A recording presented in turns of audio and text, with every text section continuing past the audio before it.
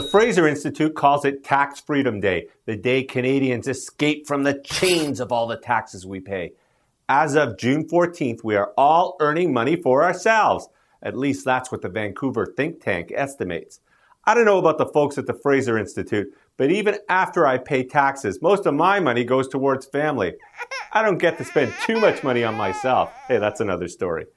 Every year, the Fraser Institute announces the day when the average Canadian family has earned enough money to pay all the taxes it faces from every level of government. That's the cash you pay to Ottawa, your province, and your city. Guess what? The date on the calendar is finally coming earlier and earlier after years of pushing later and later into the year. Last year, Tax Freedom Day fell on June 18th.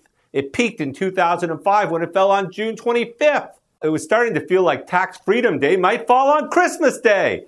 That wouldn't leave much leftover cash for presents, would it?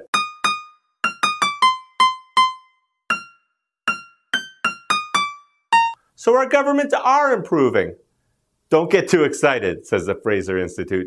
Even with the recent improvements, Tax Freedom Day still falls 40 days later than in 1961, the earliest year for which it has calculations, notes the Fraser Institute in its press release. By 1981, Tax Freedom Day had climbed to May 27th. It's not like income levels are stagnant. The average family earned $88,177 last year, and that should climb to $90,678 this year. Hey, that's pretty good. Hold it. That same family can expect to lose $40,667 in taxes, or 44.8% of all that cash that came into the household. Where's it all going? You can start with income tax. The average Canadian family pays $13,983.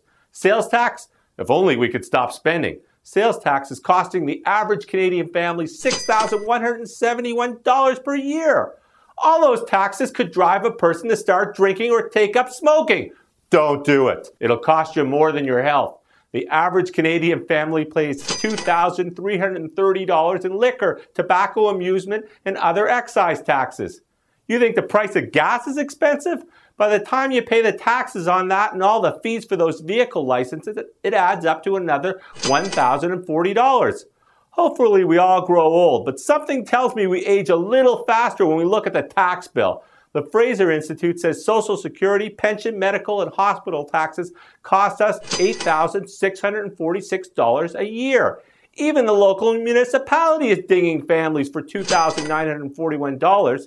There is a bunch of little odds and end taxes that bring you up to that Canadian family level of $40,667. Of course, it's better in some provinces than others. Surprise, surprise! Move to Alberta and your tax freedom day comes on May 28th. In Saskatchewan, the birthplace of Canadian socialism, my tax straitjacket wouldn't come off until June 20th.